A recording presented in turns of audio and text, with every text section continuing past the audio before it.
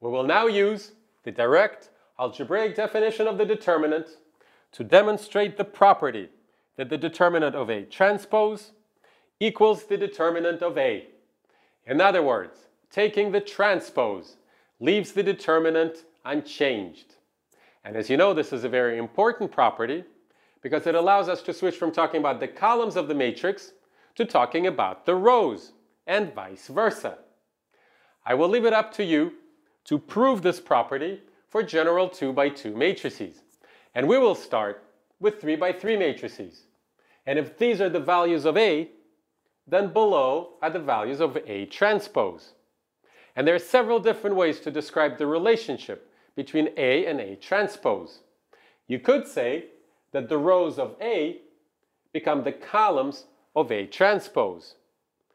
Or you could say that the matrix flips its values with respect to the main diagonal. It's kind of a reflection with respect to the main diagonal. For example, these two values will trade their places, and these two values will trade their places, and these two values will trade their places. And finally, the values on the diagonal will remain where they are. Or you could describe the process of the transpose from the point of view of subscripts. Whereas in the original matrix, the first subscript denotes the row, and the second subscript denotes the column. In the transpose, if you use the same symbols for the same values, now the first subscript denotes the column, and the second subscript denotes the row. And this is very helpful in figuring out the expression for the determinant of A transpose in terms of the entries of the matrix A. And I did it right here. On the top line, you see a familiar expression for the determinant of A in this standard form. And the expression on the bottom was not difficult for me to obtain because I didn't have to figure it out from the beginning.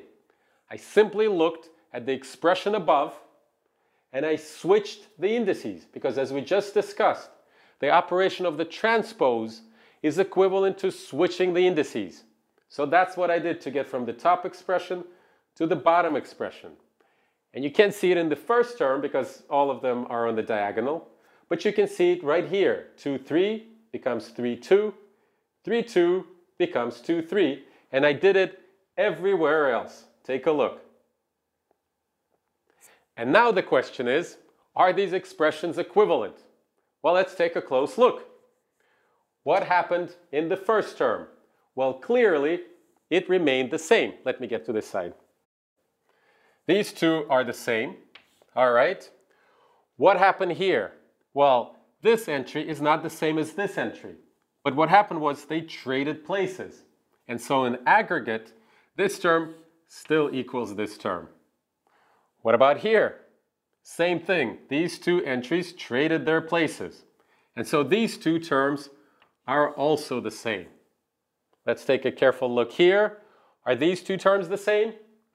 I don't think they are because this one has A12 and this one doesn't. But this term became this one. Do you see that? A12, A23, A31. They're in the wrong order, so to speak, but they're equivalent terms. So let me connect them by a line like this. Okay, well, what about this one? Well, this term became this one. So even though as individual terms they are different, in the aggregate sum they are the same. And finally, in these two terms, these two values simply trade places. And so these two terms are equivalent. So some things happened, and the expression on the bottom does not appear in the standard form, but it is the determinant of A transpose because it was obtained from the determinant of A by switching the subscripts. And as we can see, in aggregate, these two expressions are equivalent. And so this proves that for general 3 by 3 matrices, the determinant of A equals the determinant of A transpose. And we could have seen the same thing and it will be helpful, if we remembered the Russian way of evaluating determinants for 3 by 3 matrices and realized what happens to each of the patterns. And we would have noticed that four of the patterns simply flip into themselves and two of the patterns trade places. The two patterns that trade, place, that trade places are this one and this one. That's the two terms right here. All of the other terms, patterns, are symmetric with respect to the main diagonal. So when you do the flip, they flip into themselves, and that's what you saw on some of the other terms, including this diagonal term where every entry flips into itself. And so from that point of view, too, we realize why the two determinants are the same. Because when you do the flip, when you do the transpose, every pattern either remains itself, if it's symmetric with respect to the diagonal, or it flips, or the two, or two pairs trade their places. The one outstanding question that we were able to answer here by inspection is that of sign. What would happen in the general case? We would be able to make the same observation, but the question of sign will remain outstanding. So let's take a look at what would happen in a general case by taking a look at a specific term in a 5 by 5 matrix. It's this pattern, the pattern that we considered previously. And under the transpose, it becomes this pattern. And I think once we understand what happens here, we'll be entirely convinced that this identity always holds. So let's convince ourselves that this pattern becomes this one under the transpose. In the original matrix, we have row 1, column 2, row 2, column 3, row 3, column 5, row 4, column 4, and row 5, column 1. In the flip matrix, it becomes column 1, row 2, column 2, row 3, column 3, row 5, column 4, row 4, and finally column 5, row 1. And I think this convinces us that this determinant and the determinant of A transpose will consist of the same n factorial terms. The question of the sign is still outstanding, so we'll give it a great deal of attention in just a moment. But it's clear that the collection of the terms is the same. If you listen to the very definition, it calls upon us to come up with all possible combinations of entries so that there is exactly one in each row and one in each column. Even that definition treats rows and columns absolutely equally. So when you take the transpose, in other words, you turn the rows into columns, it's clear that the same that that definition will lead to the same collection of terms. And the only outstanding question is that of sign. Do these, does this term in this determinant and this corresponding term, which has the same absolute value from this determinant, come with the same sign? Well, let's find out. We have to take a very close look at the permutations that correspond to these two terms. And they will be very different, but related permutations. Let's see. For this one, the corresponding permutation is 2 three, five, four, one. All right, in this one, we have to be careful now. It'll be five, one, two, four, three. Once again, five.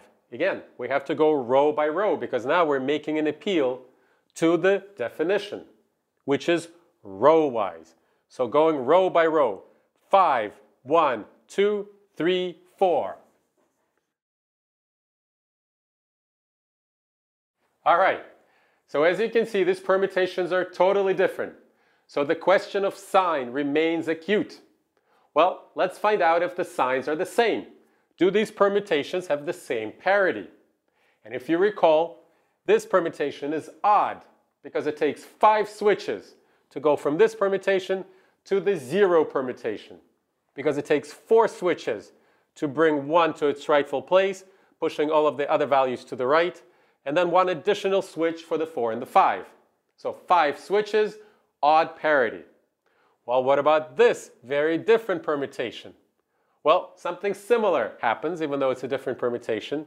Now the 5 needs to go four switches to get to its rightful place, so four switches, and then an additional switch to switch the 4 and the 3. So once again, five switches. Once again, an odd permutation.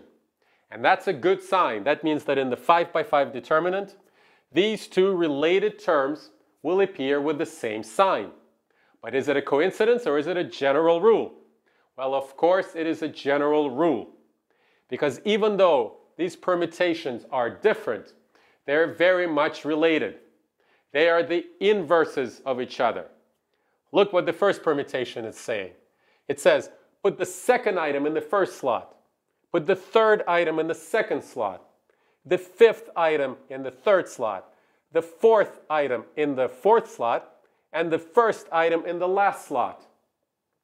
And this one says, put the last item in the first slot, the first item in the second slot, and so forth.